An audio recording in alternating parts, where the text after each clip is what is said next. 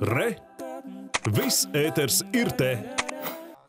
Rīgas kanālā goda apli šodien nopeldēja uzmērīšanas sistēmu drons. To iegādājusies Rīgas brīvostas flote, un tas esot tāds Latvijā vienīgais. Un ar tā palīdzību varēs mērīt un pētīt zemūdens pasauli vietās, kur kuģi ar mērierīcēm tikt nevarēja. Turpin Dāvids Freidenfelds.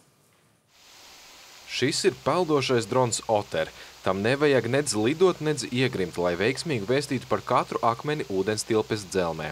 Latvijā pirmais ne tikai smalko sensoru dēļ, bet arī kopējās cenas dēļ. Tas maksā virs 200 tūkstošiem eiro, bet tas esot tā vērts. Mums vairs nav tā teikt, jādzen lielie kuģi, kas ir ārkārtīgi degvielas apjomu tērējoši, plus arī ļoti ievērojami cilvēku resursu noslogojoši, tad mēs šobrīd ieliekam šo dronu piekabē, aizvedam, nomēram, atbraucam. Līdz šim hidrogrāfijas darbi veikti ar diviem speciāli aprīkotiem kuģiem – kuru vadīšanai nepieciešama vairāku cilvēku komanda.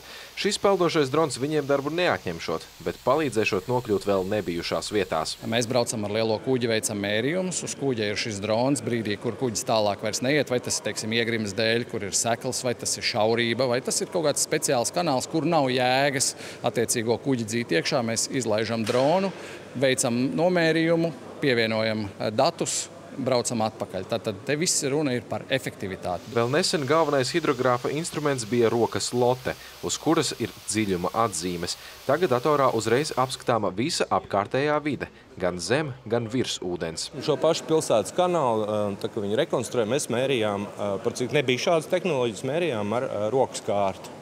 Ūdens drons neesot labdarības projekts, lai atbalstītu zinātni. Tas esot reāls instruments, kurš jau savas spējas pierādījis. Negluži sērkociņu kastīt, bet tādu rokas lielumu akmeni ļoti labi var redzēt.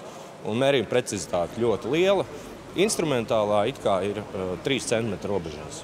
Viens ir bijis reāli darba uzdevums. Mērījām uh, Koisels grāvi, tas, kas ir krasta ielā nu, apmēram pretī molam, kur ir atklāps. Uh, tur bija pasūtījums, nomērījām, klientam dati ir atdot, tur viss labi sanāca. Un otrs, tātad bijām Drīdža ezeru pārbaudīt dziļumu. Un ar dronu veiksmīgi izdevies precizēt Latvijas un Baltijas dziļākā ezera dziļumu. Tagad zināms, ka Drīdža ezers ir precīzi 66 metrus un 17 centimetrus dziļš. Dāvids Frenefelds, Ainis Kupčs, Latvijas televīzija.